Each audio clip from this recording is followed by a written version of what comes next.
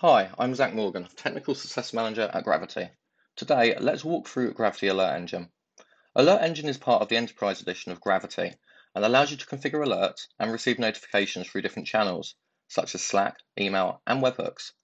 In this tutorial, we'll focus on configuring an alert for one of our APIs that will notify us if the response time is over one millisecond. To follow along, you will need Gravitee API Management and Alert Engine installed and configured, an existing API, and a way of testing this API endpoint. I use Insomnia, but feel free to use whatever HTTP client works best for you. Don't worry if you've not completed these steps yet, I'll include some links down below to help you get started. First, let's go to the API section of the API Management Console. Next, let's select the API we want to configure alerts on. In this case, I'm going to use the Time API endpoint. Now, let's scroll down the left-hand side and click into Alerts. Let's click the plus icon. So this alert, I'm just going to give a name of response time over one millisecond.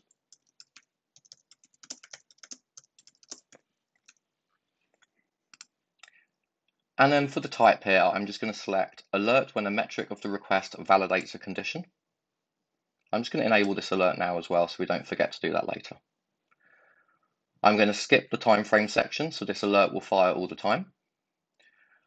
And then here for the condition, the metric, I'm going to have response time milliseconds. I'm going to have a threshold here, and then I'm going to have the operator greater than, and the threshold will just be one for one millisecond.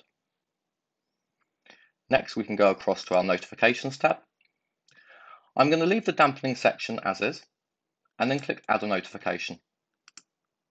In here, I'm going to select a webhook, and for the webhook URL, I'm just going to open up request bin here and use the request bin URL that was generated for me.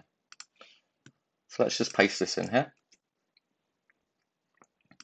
And in the request body, I'm just going to add some JSON.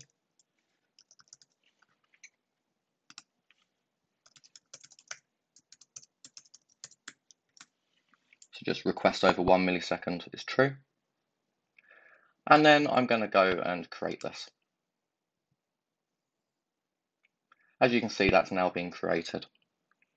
What I'm going to do now is I'm going to open up Insomnia. This is my, uh, my API endpoint. So I'm just going to send a request here. And you can see this took 206 milliseconds.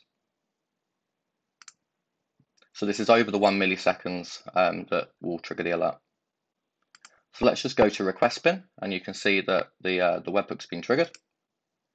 You can see here the request over one millisecond is true.